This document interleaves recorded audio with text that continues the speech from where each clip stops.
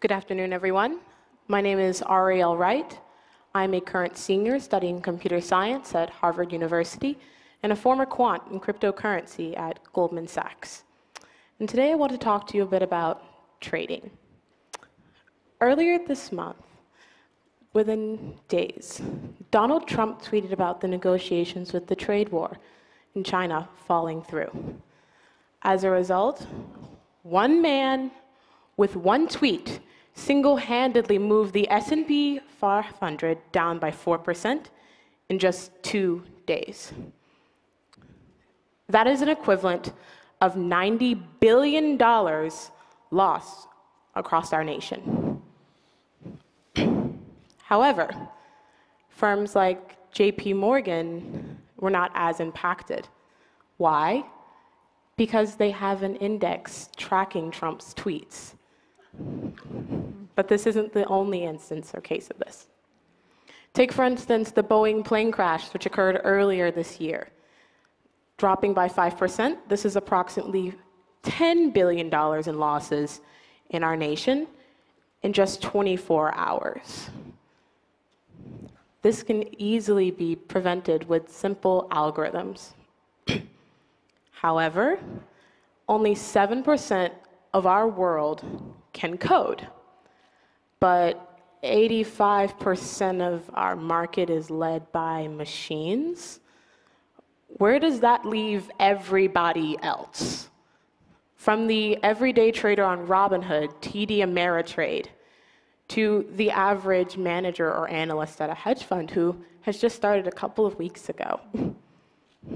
Everyone in this space is being left behind, which is why we created StrattyX. StrattyX is democratizing algorithmic trading. We do this by providing easy to use quantitative tools for everyday non coding investors. The process essentially is broken down into three phases creating a strategy, backtesting your strategy, and then automation. Let's move to demo. I can show you a little bit about it. Can we move to demo, please? Thank you. So StrattyX is actually brokerage agnostic, meaning you can bring your own broker. Today we'll be just be using our stock simulator since we used Robinhood yesterday. Let's create a strategy. Today we'll be using Vivint. We decided to keep going with the sort of solar panel materials that we had yesterday. And we'll go for 10 shares. Notice here, the way that StrattyX's interface centers around the idea of making it as easy to use as possible and relatable in plain English language. You can create bespoke rules within several categories to buy when and sell when for any type of strategy in stock. For instance, you can do things in Forex, Twitter, news, and combine them into bespoke materials that they can extrapolate from. Today, we decided that we wanted to buy with indicators mentioning positive things related to the democratic election, uh, climate change, as well as clean energy ends up being mentioned in the news. And we decided that we wanted to sell when the news essentially mentions things related to geopolitical instability. So maybe Trump, trade war, and economy going down. Awesome. So from here, we then can backtest to be able to see our results. And unlike any other sort of tool in the space, StrattyX allows users to backtest before they go forward with a strategy. And this backtesting is built essentially in-house and, and grounded in our proprietary scripting language that allows you to not only build materials off of dynamic things such as true and false, but also off of pure materials in our real world.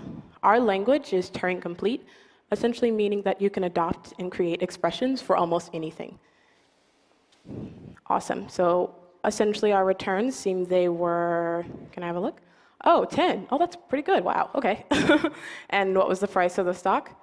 Oh, only up 5%. So essentially, strate- the strategy not only was able to provide solid returns, but in many cases, it obviously can beat than just holding a, stock, a simple stock. We also have protection mechanisms for more so younger users to allow us to extrapolate further. Great, let's move back to slides. Our plans essentially start from free all the way to day trader with other materials and tailored packages for larger accounts. Our market sits at about 52 billion for the everyday 100 million investors, and from there it expands globally to approximately 500 million investors. One thing that's great about StrattyX is that it's not only easy to use, but offers full autonomy, historical testing, and is brokerage agnostic, and is essentially the only one in our space. A bit of information about us. We've garnered 10,000 people on our wait list with zero marketing spend and have a beta net promoter score of 7.5. Our team is made up of accomplished Harvard researchers, computer scientists, and have worked on accounts as large as $200 million. StrattyX is here to democratize algorithmic trading. We invite all of the investors and traders of the world to come on our platform to reclaim your alpha. Thank you. Okay, judges. Uh, wait, uh, the news sources, how do you decide what news sources count as news and what doesn't count as news? And how does the, can the user actually see which news sources are being utilized? Yeah, of course. So I can break this down into two parts. So number one, before we uh, con considered even creating this sort of bespoke mechanism surrounding news, we decided to take the most interesting and well-vetted news sources, such as your CNN, um, your CNBC, your Wall Street Journal, et cetera, et cetera. We created and curated the list, and then from there decided to include those within our sources. Do you weight any source as yeah. a greater? Yes. We give um, each news source a quality score, and it's a zero through 10 score, and it's based on one, their impact, and two, the actual quality of their posts. So if the articles are like legit, or if they're like fake news sometimes, or if they're state run, it usually brings their score further down. And then we also allow you to categorize it. So if it's left-wing media, TV news, cable news, uh, much more uh, granular news sources if you would like. I like that you're attacking a big market and that you're taking things that the institutions have had for a long time and democratizing them. I think that one of the things that strikes me is sentiment analysis is notoriously difficult. Uh, you can tell, for example, that a trade war is being talked about or that a particular company is being talked about, but you can't tell if it's positive or negative. Uh, so, for example, what have you done on sentiment analysis? And in particular, um, the Trump example you threw out in the beginning, how would a person go about capturing that that's actually negative sentiment? Because he's also made tweets that have moved the market positively. I can take this one. So essentially, we thought really long and hard about this concept as well. And we decided that we think that historical sentiment analysis is essentially terrible. Um, and so we decided to come up with our own solution that centers around being able to use our, our economy of scale, or essentially our users, to be able to actually get accurate, forward-looking sentiment analysis, as historical is terrible, as I noted earlier. Um, so with that, the way that sort of looks is being able to literally let users give their sentiment analysis on different articles and tweets. This is essentially something that's in alpha and users can check out, especially on the application. And the more that users contribute to this, this sort of model that we have, it's a federated learning model, um, not only does the better the model get to provide for the community, obviously the, the better the, the results get the, for the whole space. But you're going to learn a model. You're not going to wait, for example, for a feedback loop, because I'm assuming that won't be fast enough.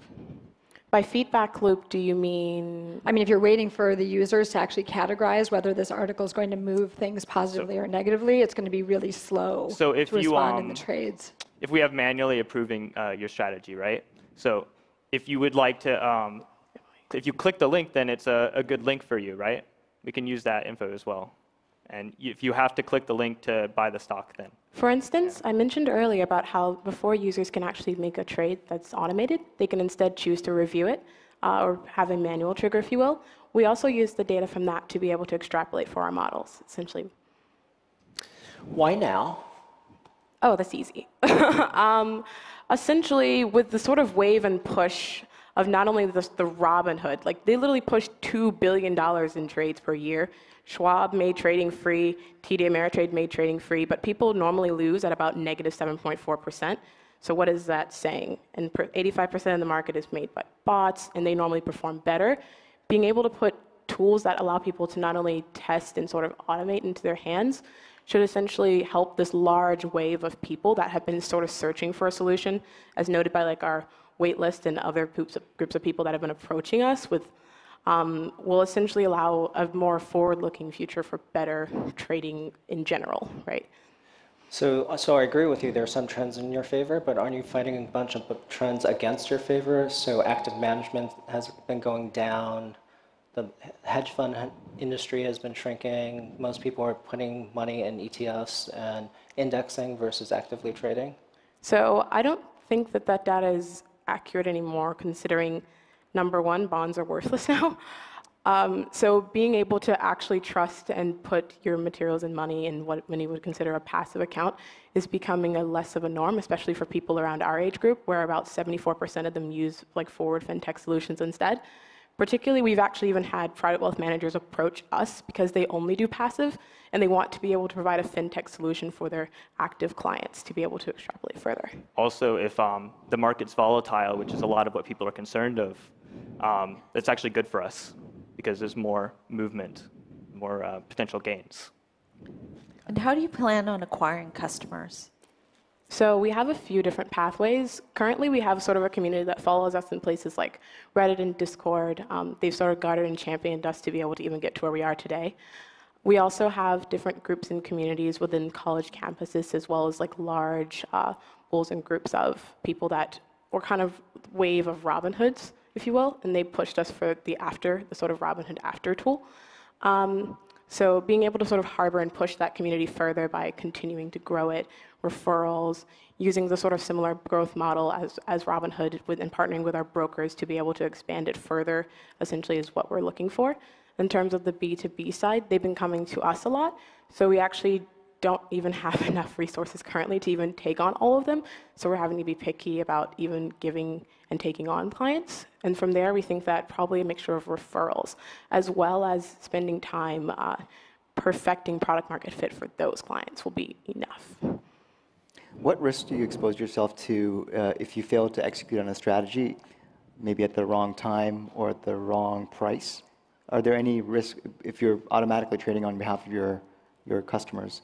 So currently, in the eyes of the SEC, we're considered to be what many would consider like an Excel or like a software, if you will. Mm-hmm. You can extrapolate and throw an API into Bloomberg and literally call it the same thing if you could code, but you can't. So you use us instead, right? That is exactly where we sort of sit. Your broker is still the main one in charge. You are also still the main one in charge, and you're extrapolating and, and pushing forward automated rules. But in the eyes of the SEC, these rules are considered to be your responsibility. But isn't there ambiguity? It's I, I, I, was, I have like I had an IFTT set up for like my uh, smart home, and when I every time I opened my garage door, my bathroom light would come on, right? Because I just did it wrong. Um, aren't, aren't there liabilities in the ambiguity of the of the news? Like if you if you as an entity read that news without the nuance of the bias of the article, and then it triggers a trade you suddenly now are liable because your technology misread that headline. So isn't there liability in that? If, if you use Microsoft Excel, you can actually use Microsoft Excel to make trades for you as well. And if you had data coming from another source feeding into your Microsoft Excel spreadsheet, um, and it made a trade you didn't agree with, would you sue Microsoft? But it doesn't interpret the data, though. That's right. It- You're interpreting. Essentially, essentially, no. It uses a formal word to vec where it literally picks out the ones that you, that you literally noted. And then from there, it does a, a mixture of key string or keyword matching. And then from there, it extrapolates, which is, Is it, is it how we sit in are you gray. doing sentiment analysis or not then? No, Currently, no. Yeah. currently, no. so it's just keywords. Right. It's not. Mm-hmm. For now, we're doing core features in the app right now, and then the rest of it we plan to have with extensions. And then also formally with partnering with PWMs, which will allow us to formally have adv- advisor and broker dealer materials. This will also allow us to offer further materials uh, in, within the ML space. All right, one more round of applause for Stratty X.